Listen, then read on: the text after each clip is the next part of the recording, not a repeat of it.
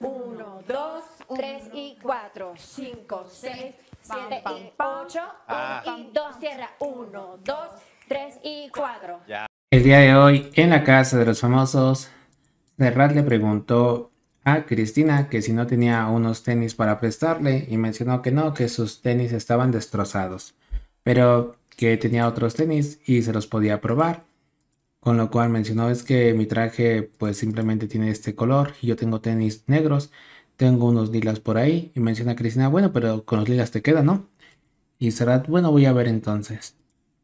Donde nos dimos cuenta cómo lo que era Cristina, pues de tener los tenis que estaban destrozados, se puso otros y le dijo lo que era Cristina Serrat, si quieres toma esos tenis, evidentemente, los que ellos no necesitaban en ese momento, pero bueno, ahí está simplemente la representación máxima de que Cristina no es compartida, pero ya sabemos muy bien que a veces las personas no es que no sean compartidas, sino que simplemente no quieren prestar las cosas a los demás.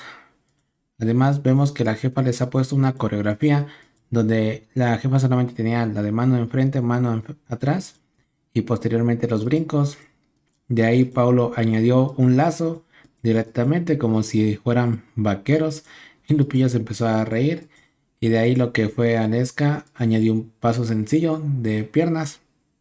Y bueno, ahora ya los famosos están coordinando para que la jefa los meta a la fiesta, pero van a entrar así con esta coreografía que vistes en el intro. Y menciona eso en serio, ¿eh? es habitantes. Bienvenidos a la fiesta. Y ya están dando las primeras impresiones de lo que harán. 1, 2, 3 y 4, 5, 6, 7 y 8, 1 y 2, cierra, cierra, cierra, cierra.